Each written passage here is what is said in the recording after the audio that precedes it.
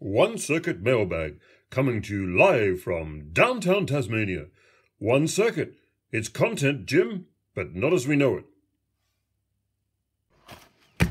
That chunky monkey, suitably charred, still warm. And interesting colour packaging. Inside, hopefully not burnt, is more packaging.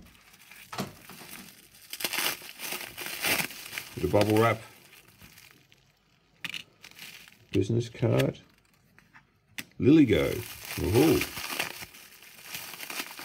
And right. Oh, pile of stuff. This is your this is your doing. Uh, if you haven't seen it already, then I will direct you to a video from Pile of Stuff where he came across this amazing device and was able to load up some old software. I think even something like Windows 3.1, old DOS, old games, uh, demos, you name it. Uh, and with the, um, the VGA output and with input from uh, mouse and keyboard, uh, it's basically running as a, a very small uh, computer.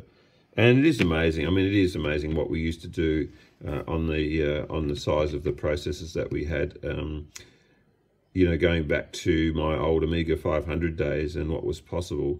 And uh, it is a bit of fun going back into the uh, the retro tunnel and having a look around. But um, I'll play with this separately. But um, I really would recommend uh, the work that uh, Pile of Stuff has done with this little one. And, uh, you know, for the price, what a hoot. Good job.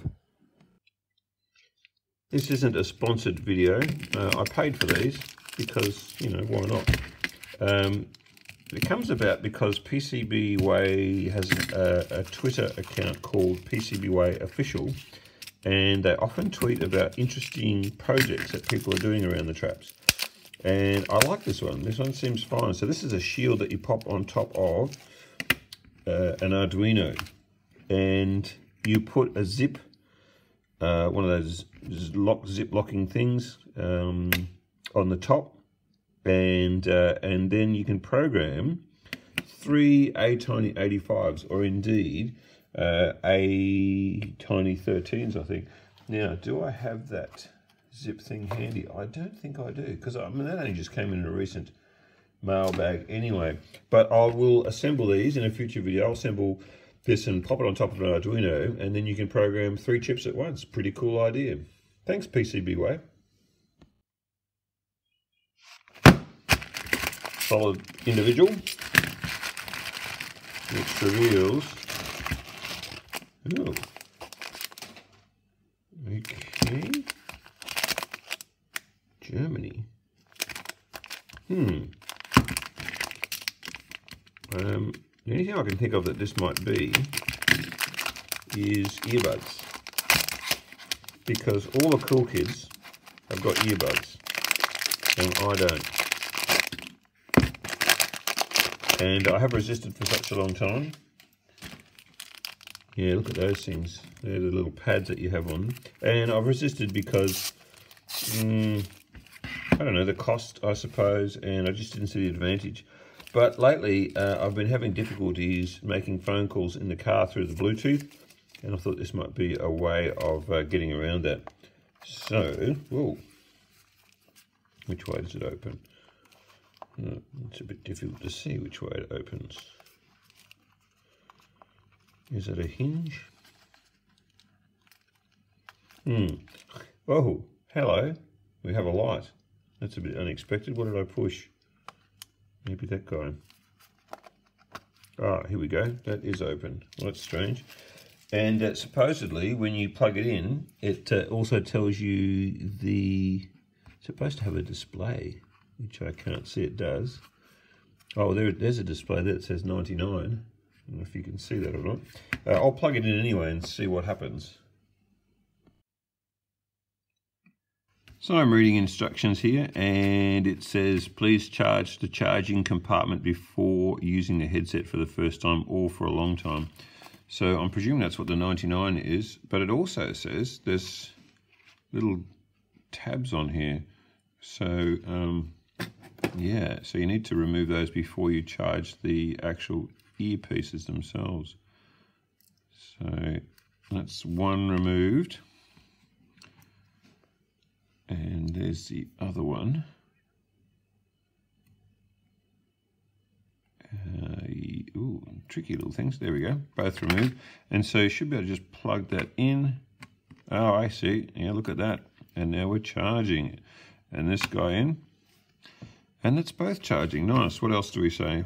Um, put it back in, blah, blah, blah. Take out the earphone after fully charged. The earphone will be automatically turned on and paired. Well, assuming I've paired it, which I haven't paired it at this stage, but I will do that. And what else does it say? The main earphone is the left and the second earphone is the right.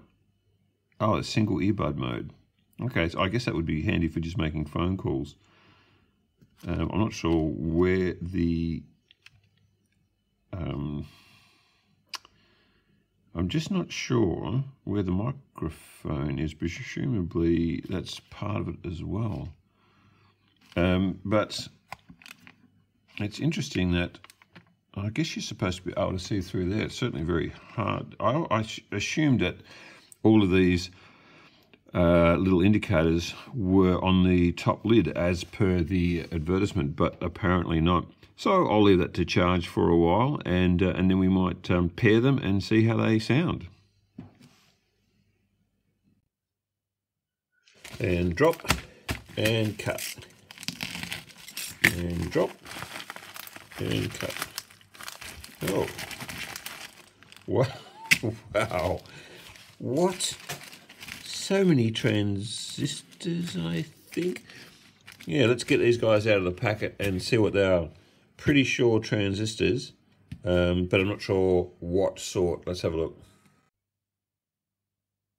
MPSA05. There's actually four different types of transistors here. I only took out three packets, but there was a fourth one still left in the packet. Um, so I luckily discovered that. But yeah, MPS A05, which we'll check with a tester in a minute, and MPS A06 uh, I'm assuming that that's maybe at least one of them's a PNP. Uh, not really sure, but the tester will tell us. An MPS A14, and the last one is an MPS A95. And I've got the most of this guy here, which is, hmm, which is, it's amazing how they're all upside down when I want to read them. Uh, that's the A14 I've got the most of. It looks like 100 and the rest I've got 50 thereof. But let's throw them in the tester and uh, and have a look. So we'll just just have to splay the legs a little bit and pop them in. And the tester says it is a BJT NPN and there are the specs so yeah, I think from memory it's like maybe half an amp that these guys can drive, but um, I will have to check that with the with the specs online. I mean, I still love the SS8050 and the 8, um, is it 8055? The PNP version, uh, which we've seen many times on this channel, but uh, these ones I think were so uh, cheap. Uh-oh, that's the wrong hole. Let's try again. Says it was a Zener. That's not right. So this is also NPN. Uh, so that first one was the A05. This one is the A06. So um, also NPN. And then we've got the A MPS A14. I need to just pull these legs apart a little bit. Pop it in the right one would help and this one is NPN as well. And then, so I'm guessing that the last one, which is the MPS A92, maybe is the PNP. Let's have a look. And the tester says, yeah, PNP. Uh, so hopefully those specs line up with that. So um, 200 transistors, 100, uh, 250 transistors, I think. So these guys all uh, NPN and 100 PNP. So yeah, nice haul at the price. How do I know where to cut them? I hold them up to the light first. So I reckon that this is safe. Famous last words, but let's just have a look. Oh, yeah, that's all good. So there's our package inside. And we have, oh, okay. This is interesting. So uh, a little while back in a mailbag, I, uh, I opened up it was like a CNC shield. So you put it on top of the Arduino and then you connect the motors up and there was a comment uh, on that um, on that video that uh, that said, "Oh, you should try these guys. They're um, they're quieter." So um, this will become part of the. Uh, it, well, it won't, it won't end up being a CNC machine, but I just wanted to control the four motors uh, independently. I'm not sure exactly why. I've sort of got. Mm, maybe some robotic stuff in mind, but I'm not really sure at this stage. Uh, but these are supposed to be ultra quiet versions of them. So we'll open one up and have a, a closer look at it. So I'm looking at, I think, TMC 2209. And then we've got 2138, which presumably is the 38th week of 2021. Wow, that's pretty recent for the stuff that I buy. And in Germany, it's got listed there, uh, which is pretty cool. And then on the back, uh, there's a pad there uh, with enough space for this heatsink, so um, which does fit, which is nice. So yeah, that's fitting fine on there. So um, yeah, when the time's right, uh, we'll put all of those together. So firstly, we'll try it with the so-called, uh, you know, like noisy uh, motor controllers, and then speaking of noisy, those pumps are going off in the background. So I might filter that out. Nice. Uh, and uh, yeah, so and then we'll try it with these uh, so-called quieter versions that were recommended to me via the YouTube comments. So um, YouTube comments, you've got to love them. So uh, make sure you leave one, even if it's just to say hi. I'd love to get those uh, those comments. Anyway, we'll um, yeah we'll save those for a future video. Corner cut, corner cut, without cutting me. Ooh. Interesting. Okay, without cutting the package too much. One package, two package. This looks a little bit like an amplifier. Uh, maybe, let's, uh, maybe a TDA, yes, I think it is. TDA 2822 amplifier, I would say. Let me just get a bit uh, closer to that chip. Can we see anything? Mm, yes, I can see TDA 28. Oh, it's difficult in there.